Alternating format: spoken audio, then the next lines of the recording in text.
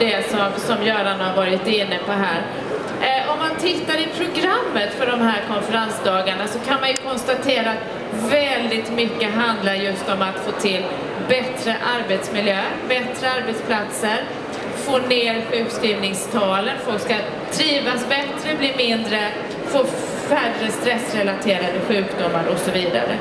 Och en tydlig trend är ju också det här att arbetsgivare idag intresserar sig allt mer för vad medarbetarna faktiskt gör på fritiden. Framförallt vad det gäller sådana här saker om man röker, snusar, dricker för mycket. Motion har ju blivit en jättestor grej. Men det är lite vad präster var intresserade apropå medeltid här, synd och el liksom. Absolut, Det finns någon ganska sån aspekt. asketisk livsföring. Men just det där om man motionerar mycket, alltså ett, ett Vasalopp, ett maratonlopp, är någonting som idag kan sätta upp på CV som visar att här är någon som är beredd att ge järnet utanför jobbet och det Detsamma ska du ge en bild av vad den här personen kan prestera på jobbet. Och samtidigt, när du gör Vasaloppet så har du med dig mobilen om det är så att arbetsgivaren skulle behöva nå dig i något ärende. Ja, kanske. Men jag tror faktiskt att många också har sett att den typen av stressande effekter på sikt inte är så bra. Utan menar- jag tror menar du- att man får liksom staka på i, i lugn och ro. Men sen gå tillbaka till jobbet och vara en inspiratör för kollegorna och vara liksom på efter allt detta adrenalin som man Menar har du att fått. Yes. arbetsgivaren uppmuntrar Vasaloppet? Ja, jag tror att arbetsgivare idag är mer benägna att uppmuntra sånt man gör på fritiden som är bra för en och som naturligtvis får bra effekter på jobbet. För jag menar, allting handlar ju om att medarbetarna ska må bra men därigenom också prestera bättre. Alltså det har ju med lönsamhet att göra i slutändan naturligtvis. Ibland kan det här gå lite långt. Jag vet inte om ni läste igår om de här brandmännen som hade sökt jobb på Arlanda och som hade blivit tillfrågade om de hade ett tillfredsställande sexliv. Det var en av de här frågorna som de hade fått. flåsets skull kanske då, för. Ingen aning. Man tyckte att det här... Hormoner, balans, att man är på gott humör förmodligen. Jag vet inte. Tydligen var det här också någonting som hade hänt några som sökte lärarjobb i Umeå. Det var en kvinna som intervjuades på Sveriges Radio angående detta. Eh, jurist i arbetsrätt på LO, Sofie Renström heter hon, och hon berättade att det finns en tydlig trend idag att man ställer frågor kring den här typen av eh, saker som rör verkligen privatlivet också när man söker jobb. Men det är, alltså, det är inte en helt tilltalande tanke därför att det behöver inte bara vara... Jag kan säga inte helt, jag tycker inte att det är alls en tilltalande tanke. Ja, ja. Jag tycker att det finns ett, det är ännu ett skäl till att vara frilans. Ja, ja. Att man inte behöver bli tillfrågad om sexliv eller vad man ätit till lunch och så. Eller Vad vad är, vad är rätt svar på den frågan då? Är det liksom oj, oj, oj? Jag vet inte. Jag tror förmodligen att man ska säga att det är liksom lite så här bra och lagom. Jag tror inte de vill ha... Tisdag, torsdag. Ja, så tror jag. Tisdag, tisdag torsdag tror jag med samma partner. Jag tror inte att de vill ha några långa utvikningar sådär. En gång i månaden tror jag var. Jag- Vet du vad? Det här var ett exempel. Jag tänkte inte att vi skulle stanna kvar och fördjupa oss. Och julafton säger Ingvar. Jag går vidare. Det här var bara en slags eh, avstamp för min Ja, spaning. ja. För vad jag skulle vilja peka på idag är en resurs eh, som vi hittills har behandlats ganska styvmoderligt i arbetslivet. Och det är den personliga erfarenheten. Och då syftar jag inte på sexuell erfarenhet, inte heller på antalet arbetade dagar eller så. Utan på antalet Vasalopp. Ja, nej, inte, inte på Vasalopp heller. Utan på en livserfarenhet utifrån ett mer komplext och bredare perspektiv. Som, som arbetsgivaren borde fråga efter. Som borde få ta mer plats än vad det gör idag. Jag ska ge lite exempel. Och mitt första exempel handlar om erfarenheter som vi kanske helst hade velat vara utan.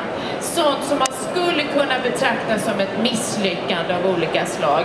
Det kan mycket väl handla just om jobbet. Det är någonting som folk har, man, man sätter upp mål, man försöker nå dit. De flesta kanske inte riktigt klarar det på det sätt som man har föresatt sig. Man kanske inte får det chefsjobb man drömmer om, man kanske inte känner att man får en bekräftelse eller man blir sedd för de arbetsuppgifter som man utför. Eller det värsta av allt, man kanske upplever hela miljön som så stressande så att man till slut går in i väggen som det heter och drabbas av en utmattningsdepression. I bästa fall kan man då utifrån ett individperspektiv lära sig någonting om sig själv och vad man ska eller inte ska göra i framtiden. Men jag tror att det i de här erfarenheterna också finns en massa nyttig information till arbetsgivarna. Jag vill se det som att när man har gått igenom en sån här sak så finns det en sån där svart låda, ni vet som man letar efter, efter ett, eh, en flygolycka. Och när man väl hittar den så Ah. finns det en massa information. Hur gick det här till? Vad var det egentligen som hände?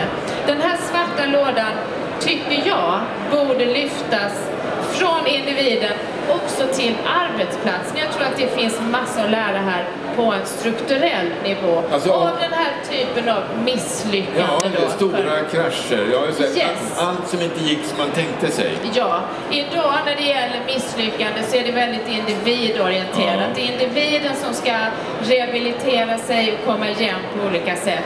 Men alla vet ju att det finns en sån stark koppling till arbetsplatsen, vilket många av seminariekonferenserna här idag handlar om. Så jag tycker, tänk om man kunde använda sig av de här erfarenheterna också på en strukturell, strukturell nivå. Hitta ett sätt att prata om det här så att det påverkar jobbet. Så, om man, om man nu söker jobb ska man säga att eh, hej, jag heter Nisse och jag har en jättestor svart låda som jag tror att du är intresserad av. Det är lite fyrkantigt så. uttryck, men ungefär. Ja, ja. Eller att man ska, man ska få ett klimat där man kan tala om sådana här saker. Där man ser att det här är faktiskt en viktig erfarenhet. Har man gått igenom, så det behöver ju inte vara utbrändhet, det kan vara andra svåra personliga erfarenheter. Så bär man på sånt som är viktigt. Man har gått vidare som människa och det kan man ha nytta av i arbetslivet. Minst lika mycket nytta av, tror jag, som att ha fullföljt ett Vasalopp. Men menar du då att ju flera fiaskon desto bättre? Sig vidare. Jag menar bara att människan är komplex. Och att fiasko, det är också en del av de flesta människors liv som man kan använda sig av. Allting behöver inte vara det här som man har lyckats med. De allra flesta människor har fler misslyckanden än sånt man har lyckats Fast med. rent praktiskt sett så, så är det liksom lite säkrare att plocka fram svarta lådan och börja rota i den sådär efter anställningsintervjun ändå. Kanske inte liksom direkt. Kanske inte som första grej. De där spännande misslyck- Nej, utvecklande det tror jag- jag misslyckandena tror är att ändå dit- lite farliga det det- läget. Dit kommer vi inte på här, så att man har med. Men att det ändå, ni förstår vad jag menar, det ska Ja. finnas en, en eh, att man gör någon slags omvärdering av, av erfarenheter. För som det är idag så är det väldigt snävt inriktat på det här nu säger jag Vasaloppet så igen, men just det jag upplever det som att just det här med motion och visa att man är duktig i spåret har blivit en väldigt eh, viktig sak. Men det här, det här öppnar helt nya perspektiv för många av oss som kanske har ganska mycket i våra svarta Men lådor. det är det jag menar Ingvar, att det har alla men vi Ja. pratar inte om det. Och jag tror det finns en massa outnyttjade erfarenheter som man kan använda sig av. Det- Alltså när det gäller teknikutveckling då kan man ju konstatera att det är precis så man jobbar. Yes. Det tog ganska lång tid innan glödlampan funkade. Ja. Och då var det misstagen som ledde fram till Absolut. eh, den Men färdiga jag tror vi är produkten. väldigt för misslyckande. Vi, miss, vi är rädda för att prata om det, våra egna. Och vi, vi är rädda, på, rädda för att tala om det med andra och så. Jag, där nu fördjupar jag mig så i detta. Jag har fler ja. exempel. Åh, Jag hjälp, gör ja, det ja, var ja. jättesnabbt här va. Eh, jag tror, ja, man kan se också en allmän trend kring det här att människor är experter på sig själva och sina egna liv. Det ser man inte minst inom vården idag.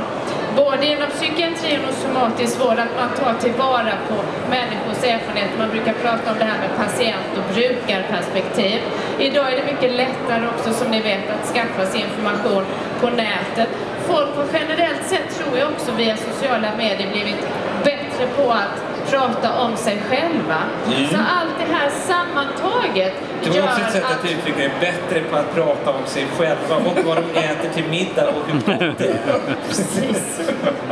Nej, men jag tror att eh, allt det här sammantaget så tror jag också att man, man utmanar gamla auktoriteter, till exempel som läkarauktoriteter. Man Mm. ser att har någon typ, av olika symptom eller sjukdomar, man, man vet rätt bra om det själv. Man, man kan, det är en viktig kunskap som inte bara behöver vara någonting lite så här krus på ytan, utan någonting som man verkligen kan ta med sig. Eh, och vad gäller de demografiska förändringarna som Göran var inne på, också här, erfarenheten, jätteviktigt. Någon som har varit med länge i arbetslivet, jobbat i 60 år, har naturligtvis oerhört mycket viktig erfarenhet att dela med sig av. Man behöver liksom inte uppfinna hjulet på nytt. Fast exakt så är det ju och samtidigt så är det precis det som är så väldigt svårt att få fram till marknaden så att säga. I, helt kort ska jag bara säga på det här seminariet när den här kvinnan sa att det finns inga tecken på att, att, att arbetsgivarna vill ha 50-plussare som anställda. Då svarade en kvinna som representerade arbetsgivarna enormt mystiskt med psykologiskt talande som Men vad ska vi göra? Ungdomarna tar ju så lång tid på sig att utbilda sig. Vi kan inte anställa dem förrän de har fyllt 30. Så att hon fick en fråga, varför anställer ni inte 50-plussare? Hon svarade varför det var så svårt att anställa Ja, unga. ja. Men jag det tror att generellt tänka. att man är så upptagen med det här att det ska, att det ska vara nytt, alltså nytt för nyhetens egen skull. Ja. Så jag tror inte att man premierar erfarenhet av det här slaget heller på det sätt som man borde göra. Jag tror att det finns jätte... Egentligen demografiska förändringarna är ju i grund och botten någonting positivt. Vi lever längre, vi är friskare längre, vi är liksom tillgängliga för arbetslivet längre. Innebär det här att vi behöver arbetsgivare som är eh, mer flexibla och förändringsbenägna?